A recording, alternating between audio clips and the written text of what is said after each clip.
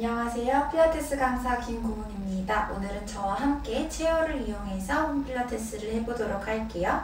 스프링은 먼저 까만색 스프링 하나를 아래에서 두 번째 칸에 한 개만 걸어주실 거고요. 그대로 발바닥을 foot bar 위에 대고 천장 바라보고 누워주실 거예요. chair 아래에는 매트를 하나 깔아서 준비를 해주세요.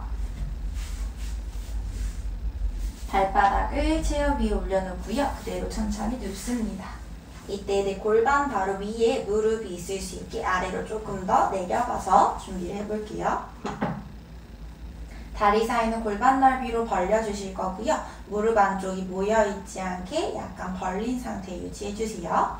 엄지손가락으로는 뒷목을 잡을 거고요. 내 손가락은 깍지 껴서 준비합니다. 이때 팔꿈치는 내 양쪽 눈높이에 맞춘다는 느낌으로 살짝 모아주실 거고요. 그대로 팔꿈치를 더 위쪽을 향해서 쭉 뽑아 올려서 내 겨드랑이가 천장에서 더 넓게 펼쳐져 있을 수 있게 만들어주세요. 처음에는 꼬리뼈를 바닥에 눌러서 뉴트럴 골반 만들어 주실 거고요. 다시 내쉬는 호흡에 복부를 바닥으로 눌러서 허리가 바닥에서 떠 있지 않게 뉴트럴 지나서 임플린트 골반 만들어 줄 거예요. 한 번 더 마시면서 꼬리뼈 아래쪽으로 밀어내고 허벅지 뒤쪽에 힘 주고 있을 거고요. 내쉬면서 복부 힘. 네, 갈비뼈와 아랫배가 조금 더 가까워진다는 느낌으로 허리를 바닥에 꾹 눌러주세요.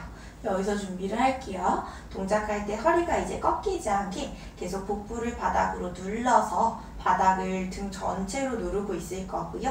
그대로 내쉬는 호흡에 턱끝 먼저 당기고 쇄골 말아 올리고 그대로 상체 컬업 올라갑니다.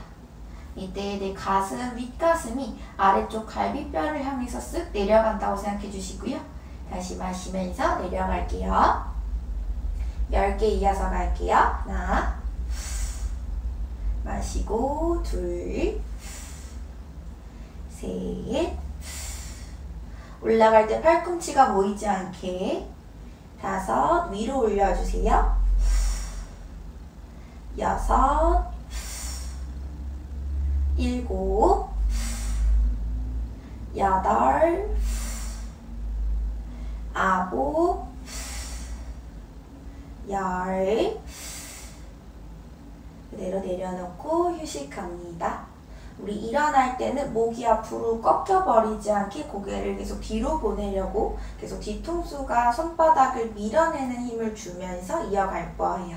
10개 더 가볼게요. 발바닥 계속 눌러내시고 내쉬면서 하나 둘 셋, 넷, 다섯, 여섯, 배가 바닥에 쓱 붙을 거예요. 일곱, 여덟, 아홉, 열, 날개뼈까지 완전히 떼서 유지합니다.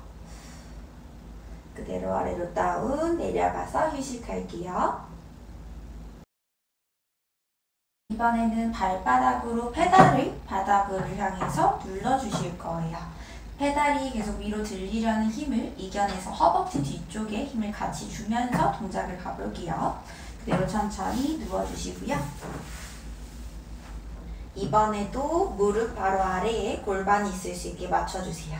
엄지손가락으로 뒷목 잡고 턱 밑에는 계란 하나를 끼웠다고 생각해서 턱이랑 가슴이 만나지 않게 우리 정수리부터 허리까지 둥근 커브를 유지하면서 올라가 볼게요.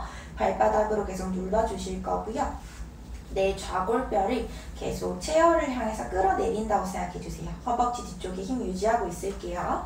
그대로 마시고 준비. 내쉬면서 올라갈게요. 둘, 셋, 내 브래지어 끈까지 떼는다는 느낌으로 이때 일어나려고 할 때 상복부보다 아래쪽에 힘이 많이 들어가면 발이 이렇게 위로 뜨게 돼요.